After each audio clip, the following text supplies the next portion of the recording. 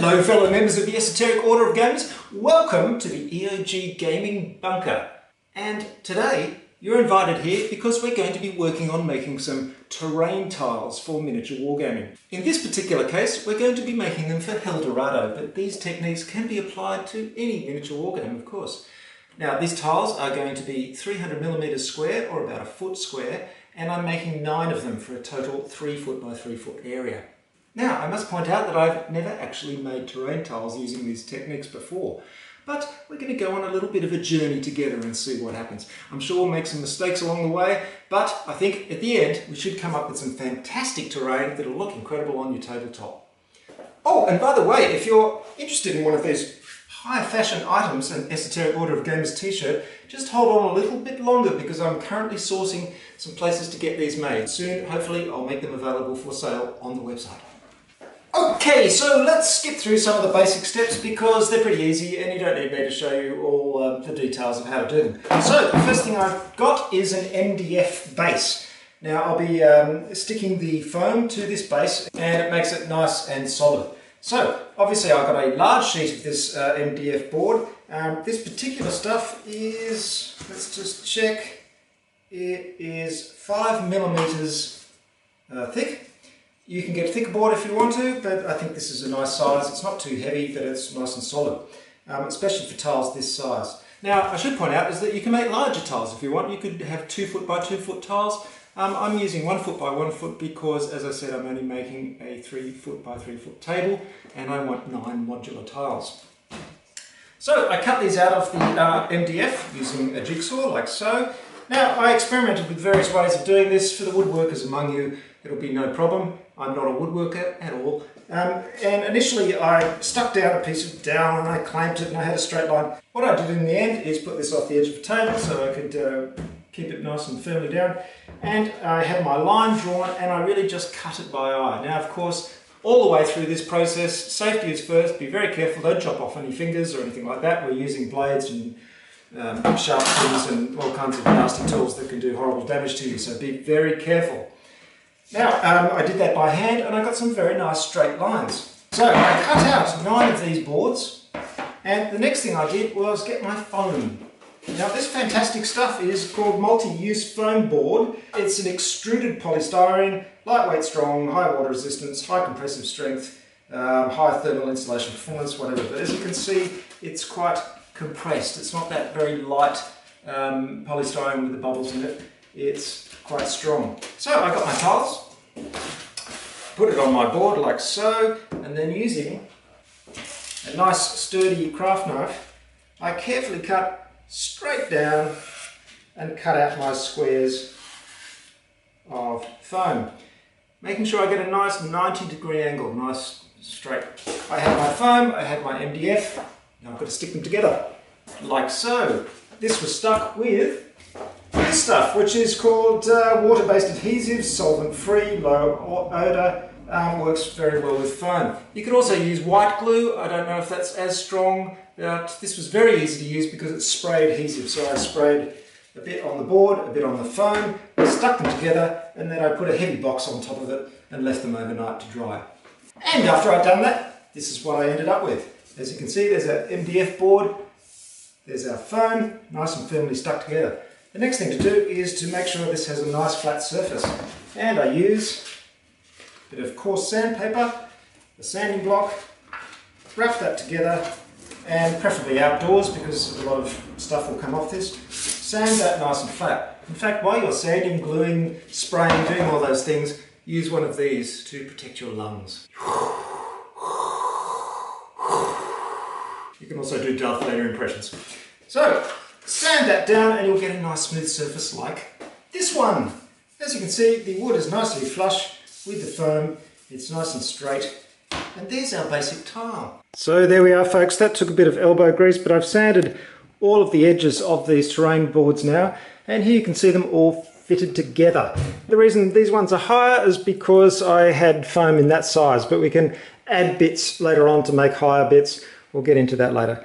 Now, the other thing here is that Sometimes the gaps are quite wide between these and we want to minimize these gaps as much as possible without being too obsessive about it.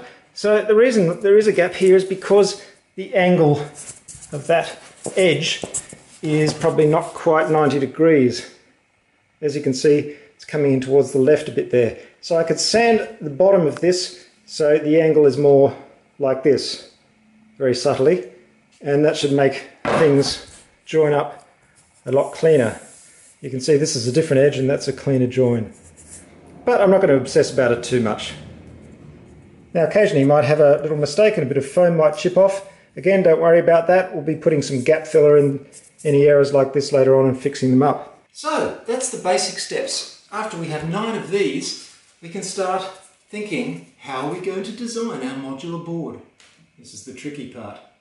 Now, of course, the trick with modular terrain is that everything has to line up because you want to arrange these in different ways to get different terrain setups. What you do is make sure everything lines up halfway through each tile. So I measure halfway along the tile on every side. And that way, if I cut into these tiles or build hills on top of them that are going to be stuck to the foam, anything that's a permanent part of the tile, I can make sure that they always line up at the exact halfway point. And then it doesn't matter how I set up my modular tiles, things will always line up. Okay, it's time to go to the drawing board or to the drawing computer if you prefer. As you can see, I've got little 3x3 cubes here and I've put a few hilly areas on them and then I moved them around to see the different combinations I can get with those. Now, these ones up here are nine um, tiles and variations you can get. And these are another three variations I can get if I add another corner tile. So you can see I get quite a lot of variety there. Now you can do anything you like. Of course, you can also come up with modular river systems or if you prefer chasms filled with lava or whatever you're going to do. Uh, at the moment I'm not going to put any rivers in this because I want to keep it relatively simple but later on if I make more tiles I can add things like that. At the moment I'm just coming up with a uh, nice amount of elevated um, scenery. So I'm going to use this as the basis for mucking around with those foam tiles. Right, it might be a little bit tricky to see but I've just inscribed my rough hills into the tiles there and now I can play around with these and see how they look. Just imagine them with the hills on them. Um, another one here, I'm going to do some uh, fishes in here, um, probably with some lava in the bottom, and over here I'm going to have sort of a sunken road with some um, rock shards coming out of it. Before you start setting up your terrain and thinking about what you want to do, go online and see what other people have done and um, see if you can get some inspiration, not only from other terrain types, but also from artwork. So now that I've got these roughly marked on these tiles, I can move them around a bit and see what kind of layouts I'm going to be able to get with this setup. I've tried various ways of making the hill scenery on these tiles and I've come up with a way that I'm most happy with. First, I tried this technique. Now this was a thicker tile and I chopped into it, as you can see, and I put another piece on top, glued it on top, and I chopped into that, and I'm chopping away. And I haven't finished chopping on this one, but you get this very hacked in effect. This is all done with a knife. Um, it's not too bad. The problem is, is that you can go too low here and find that it doesn't match up with your tiles perfectly. Um, and you get a very rough effect and then you've got to sand it down. It's very labor intensive. So that's okay. Not crazy about it. Not crazy about the sudden transition as well from um, the chopped off area to the flat. That's a bit too artificial for me. So that's one approach. This is another approach um, which I discovered online and I think it's quite effective. I do have another piece uh, stuck on there as usual. I did chop into it and then I chopped into it even more and I glued on pieces of bark. And you can see I put them in sort of strata like this, and then I used a lot of gap filler to fill in the gaps and mold it down so it actually rises up there. And I think this is more realistic, it looks interesting. I'm not sure exactly how it's going to look until it's all painted and, and blended in, but I think this is a more realistic rock face and a bit more interesting. It's not as artificial looking. And finally, there's this approach, and this is where as you can see again, I put another piece on top.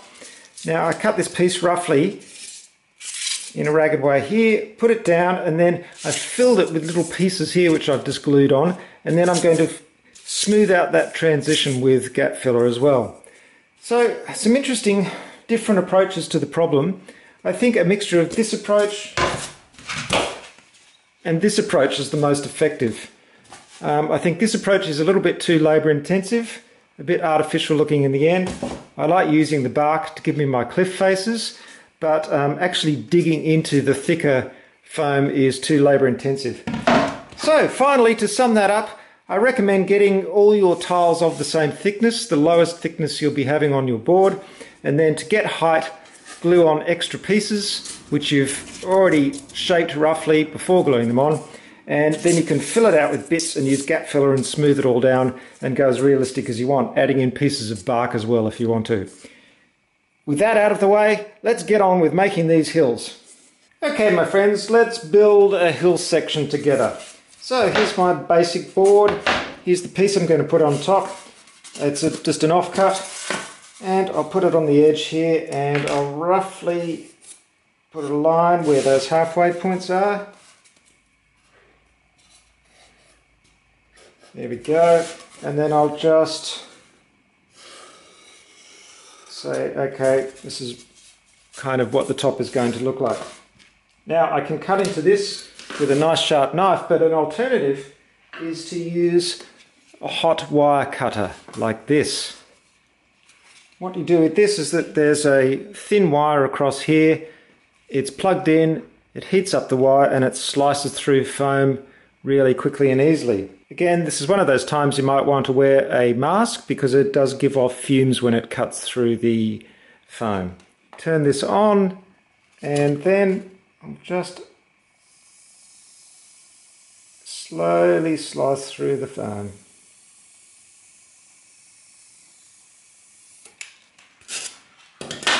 And you can see that's a lot faster and easier than using a knife.